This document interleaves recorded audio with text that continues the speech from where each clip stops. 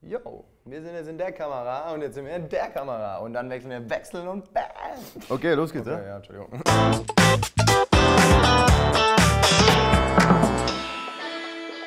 Moin Leute, unser Sehvermögen hilft uns dabei, unsere Welt um uns herum wahrzunehmen. Aber oft sehen wir Dinge, die wir gar nicht verstehen. Woher wissen wir, dass wir uns auf unsere Augen verlassen können? Das Bild hier kennt ihr bestimmt und man kann es kaum glauben, aber Kacheln A und B haben die gleiche Farbe. Entfernen wir einfach mal alles drumherum, dann seht ihr es. Aber warum ist es so? Warum wirkt Kachel A dunkler als Kachel B? Unser Gehirn weiß, dass Schattenobjekte dunkler erscheinen lassen. Daher will es es kompensieren und lässt Kachel B heller erscheinen. Wenn wir jetzt den Schatten wegnehmen, fällt der ganze Effekt weg. Ihr seht also, wie sehr die Umgebung die Farben beeinflusst. Was da genau in unserem Gehirn vorgeht, wissen Forscher selbst noch nicht genau.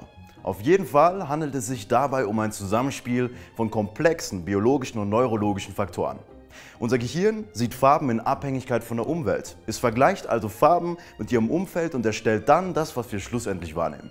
So Leute, machen wir einfach noch ein Beispiel. Guckt euch mal den Ring hier an und ihr seht, ja, der ist ganz eindeutig einfarbig.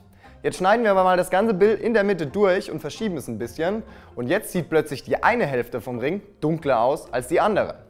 Hier findet wieder genau der gleiche Effekt statt. Unser Gehirn passt die Farben von den Kreishälften der Umgebung an.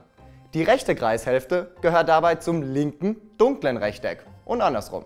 Unser Gehirn passt also einfach die Farben von den Halbkreisen an die Rechtecke an und färbt sie dunkler oder heller. Wie ihr seht, ist also alles, was wir wahrnehmen, irgendwie vom Umfeld abhängig. Genau, habt ihr Bock auf noch ein geiles Beispiel? Schauen wir uns jetzt mal diese zwei Balken an. Wie ihr seht, haben beide Balken die gleiche Farbe. Jetzt fügen wir aber ein paar schwarze Linien hinzu und plötzlich scheint sich die Farbe der Balken zu verändern. Obwohl wir wissen, dass beide Balken genau die gleiche Farbe haben, nehmen wir den einen dunkler wahr als den anderen. Was wir wahrnehmen, entspricht also nicht immer der Wahrheit. Aber woher wissen wir, ob wir unseren Augen trauen können?